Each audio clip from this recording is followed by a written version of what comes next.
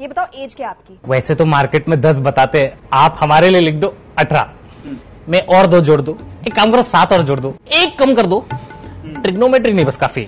Sex देखा बहुत है भैया लेकिन किया एक भी बार नहीं है। अरे भाई मैं पूछ रहा हूँ मेल या फीमेल नहीं मेरे को फीमेल ही पसंद है। भैया फीमेल फीमेल मैं तुम्हारी सेक्सुअल ओरिएंटेशन की बात नहीं कर रहा, मैं पूछ रहा हूँ तुम्हारा जेंडर क्या है मेल या फीमेल क्या लगता है भैया आपको मेरी शक्ल देख के बताओ? अरे मेल ही हूँ ना, मेरी दाढ़ी देख के जज क्यों कर मैं आपसे पूछूँ आपके जेंडर क्या आपका जेंडर क्या आपका जेंडर क्या बुरा नहीं लगेगा आपको? सेंसिटिव क्वेश्चन नहीं प्लीज़ एक बात बताओ आपको गुप्त ज्ञान के बारे में क्या जानकारी है? देखिए शादी के बाद हम मर्दों को एक लंबा सफ़र एक अंधेरी गुफा में घुसाना घुस के तय करना पड़ता है।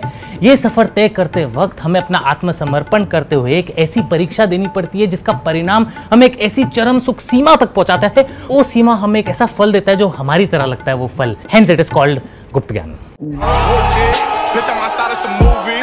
इतने तेजस्वी लोग हैं हमारे जितने शानदार विचार रखते हैं।